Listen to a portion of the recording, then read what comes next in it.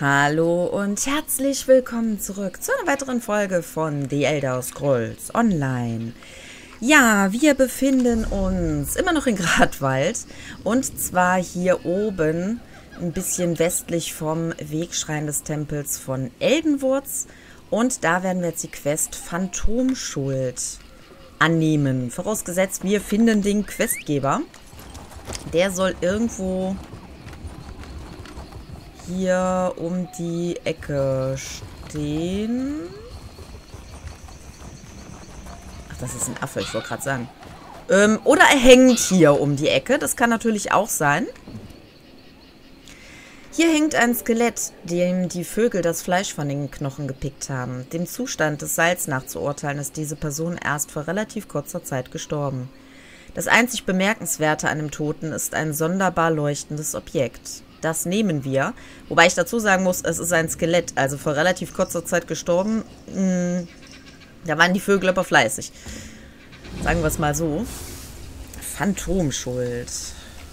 Es tut mir leid, es tut mir leid, falls euch das nervt, aber wir haben ja eine Pinterest-Seite und da ist es natürlich, ja, ich mach's mal mit dem Ding drin, da ist es natürlich wunderbar, wenn wir da mal eben ein Bild von machen können. Ich finde das nämlich nie wieder hier. Da hinten liegt was. Ja, das können wir nicht nehmen. Okay. Ein Tagebuch. Geht zum Friedhof in Narrengold. Könnt ihr euch gerne durchlesen. Tag 30, ich bin ein Monster und verdiene es nicht zu leben. Okay, das lässt auf eine interessante Geschichte... Ja, bitte? Deutet auf eine interessante Geschichte hin, wollte ich gerade sagen. Ähm... Ich sehe ein Zeichen. Ach, hier hinten geht zum Friedhof von Narrengold. Da ist es. Okay, dann versuchen wir das mal. Ich weiß nicht, wie ich hier wieder hochkomme. Ah doch, hier ist, hier ist der Weg. Der führt aber in die falsche Richtung. Dann müssen wir erstmal hier wieder hoch. Im Halsbrut? Wo bin ich denn jetzt hier gerade? Ne, hier müssen wir gar nicht hoch. Das war doch der richtige Weg. Ach mein Gott, wir sind heute, also ich bin heute mal wieder total verwirrt. Oh, ich gehe auch gerne mal hier unten gucken. Da ist nämlich ein Zitschi-Portal. Das werde ich natürlich nicht liegen lassen. Kommen dann so schöne Dinge bei rum, wie zum Beispiel die Halskette vom Pakt. Die ich eventuell noch nicht hatte. Ich bin mir nicht sicher. Mit dem? Ah doch, mit dem hatte ich es schon. Na gut. Ist natürlich immer random, was man bekommt, deswegen kann man das nicht vorhersehen. Da lag noch Erz, aber das soll uns jetzt nicht kümmern. Irgendwo hier vorne soll nämlich eigentlich der Friedhof sein. Ja. Ähm. Ja, kein Thema. Ja. Gesundheit, Teso. Also ich hatte es hier bisher noch nicht, dass hier das Bild neu geladen werden musste. Das ist mir in der Tat neu. Das habe ich schon mal an ein oder zwei anderen Stellen gehabt, aber hier definitiv Ihr nicht. habt ganze Friedhöfe gefüllt. Das kann sein. Ich habe schon sehr viele Leute getötet.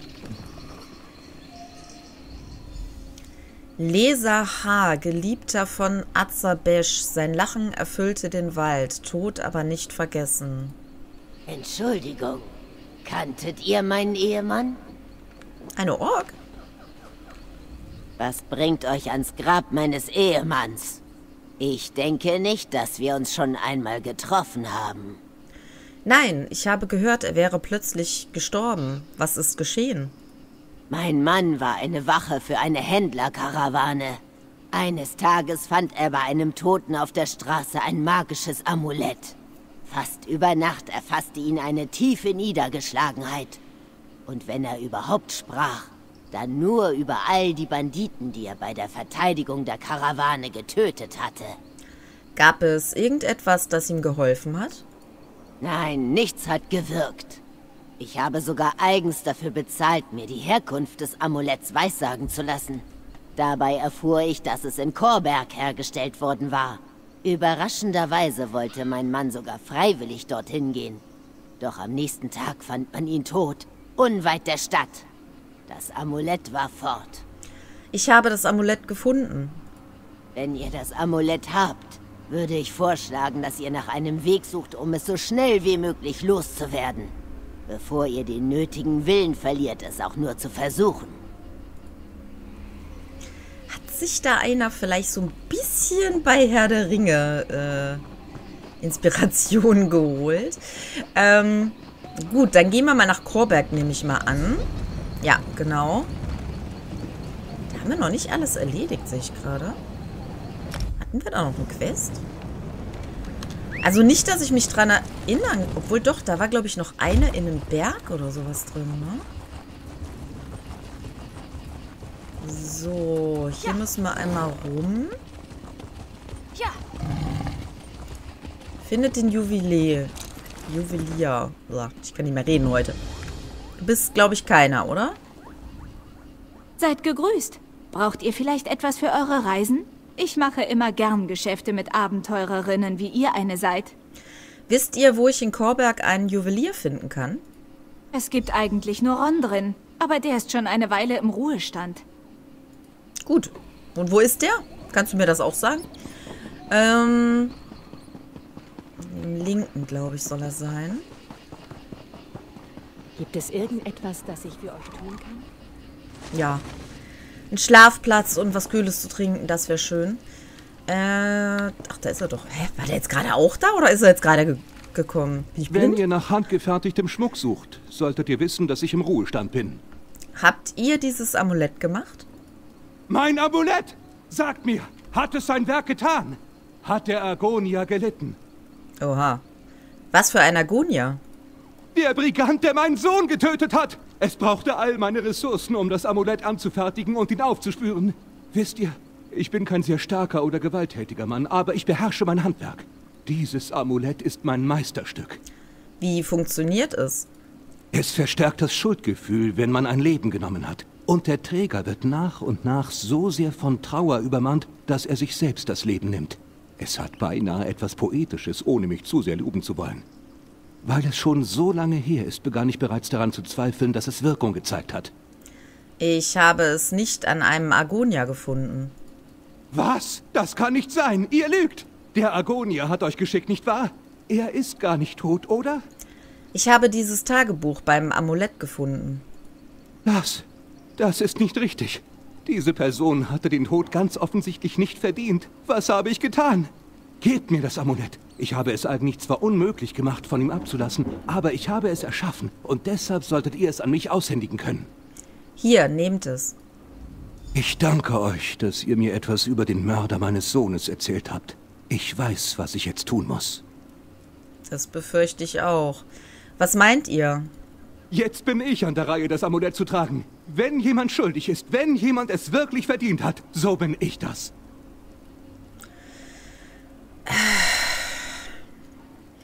Ja, es ist schief gelaufen und nein, das war sicher auch nicht richtig, was er getan hat, aber wenn ihr das so wollt. Äh, warum habt ihr das getan? Ich habe diesen abscheulichen Gegenstand erschaffen. Es ist nur passend, dass ich von ihm vernichtet werde. Das wäre Gerechtigkeit. Jemand anderes könnte es aufsammeln. Ihr solltet es vernichten. Oh, ihr Götter! Wie konnte ich nur so blind sein? Meine Rache hat nur noch mehr Schmerz in diese Welt gebracht. Ich schätze, der Tod ist nur ein schlechter Ersatz für Gerechtigkeit. Ihr habt recht. Ich muss diese Spirale des Grauens durchbrechen. Ich muss das Amulett vernichten. Werft es ins Feuer. In Ordnung. Erlebt die Vernichtung mit, okay? Was macht er? wieder! Ernsthaft jetzt? Mit ein paar Hammerschlägen geht das kaputt? Es ist geschafft. Niemand soll je wieder durch diese verfluchte Kreation leiden.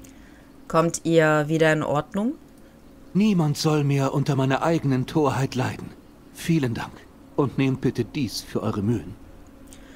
Und wir erhalten einen kräftigenden Ring in grün ohne Set.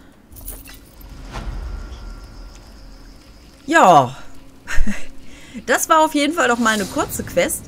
Dann schaue ich mal, was ich noch für eine Quest hier finden kann und schalte euch dann gleich wieder hinzu. So, hier vorne soll noch eine Quest sein.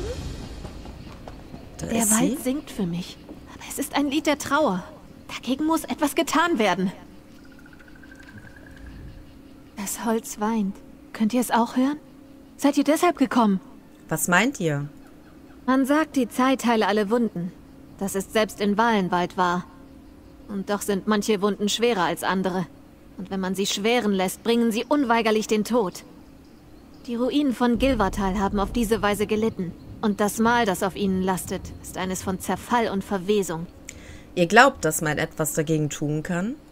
Jeden Tag nehme ich ein Gefäß mit Wasser, das in diesem Schrein gesegnet wurde und nähre damit jene Ströme, die in dieses verfinsterte Tal hinabfließen. Ihre Kraft wird den Boden dort daran erinnern, was er einst war. Doch mein Leib wird im Alter schwächer, auch wenn meine Entschlossenheit ungebrochen bleibt. Werdet ihr mir helfen? Ich werde tun, was ich kann. Habt Dank. Nehmt diese Fiole und füllt sie mit Wasser aus diesem Becken. Das Wasser muss von dem entnommen werden, der es trägt. Begebt euch dann zu den Wasserfällen, die nach Gilvatal fließen, und gießt etwas an jedem Kamm aus. Die Natur wird den Rest erledigen. Ihr habt das die ganze Zeit über alleine gemacht?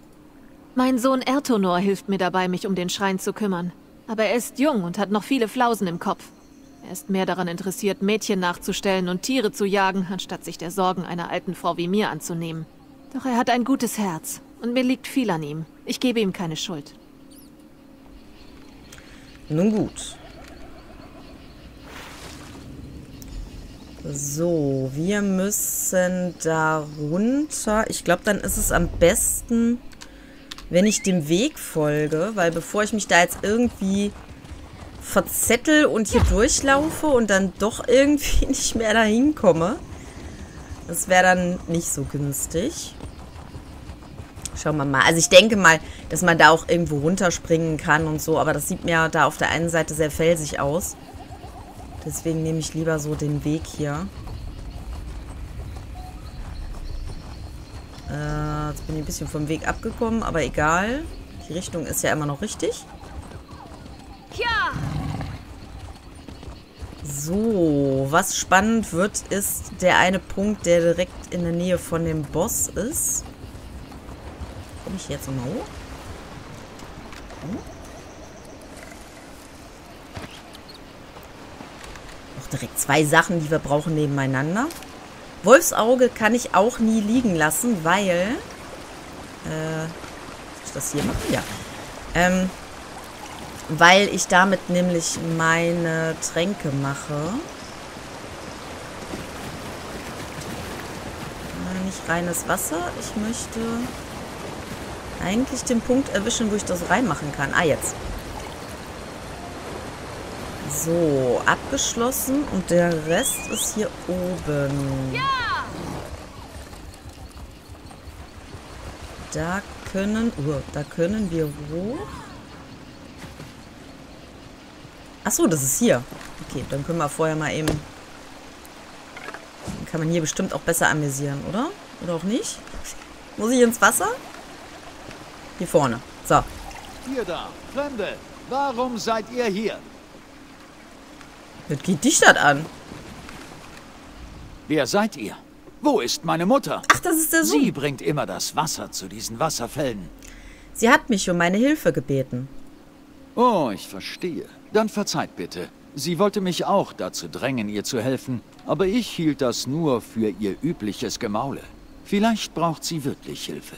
Ich sollte los und nach ihr sehen. Ihr habt meinen Dank für die Freundlichkeit, die ihr ihr erwiesen habt. Ich werde ihr sagen, dass ihr euer Wort gehalten habt. Das ist doch nett. Und wir haben sogar leichte göttliche Schuhe bekommen ohne Set. Ja, jetzt habe ich es leider nicht mehr gesehen. Vielleicht habt ihr es noch mitbekommen. Ich hatte nämlich unten bei ihr auch nochmal so einen Punkt. Ähm, das heißt, theoretisch hätte ich, glaube ich, auch zurückgehen können und das dann bei ihr abgeben können. Ich weiß nicht, ob das jetzt irgendetwas ausgemacht hätte, dass das dann irgendein anderes... Äh, irgendeine andere Belohnung gebracht hätte oder so. Ich denke mal nicht. Aber ich meine, warum sollte man wieder zurücklaufen, wenn man das Ganze dann auch am Zielort abgeben kann? Das ist natürlich immer noch am besten. Ja, dann würde ich sagen, damit das nicht zu viele Quests auf einmal sind, ist die Folge heute ein bisschen kürzer als sonst. Macht aber nichts. Und dann sehen wir uns in der nächsten Folge, denke ich mal, oben bei den Ruinen unter Chorberg wieder. Ich vermute, dass die Quest ein bisschen länger ist, deswegen möchte ich die gerne als nächstes machen. Ja, lasst gerne ein Like und einen Daumen. Lasst gerne einen Daumen nach oben da und ein Abo, wenn ihr das noch nicht getan habt. Und wir sehen uns dann in der nächsten Folge. Bis dann. Ciao.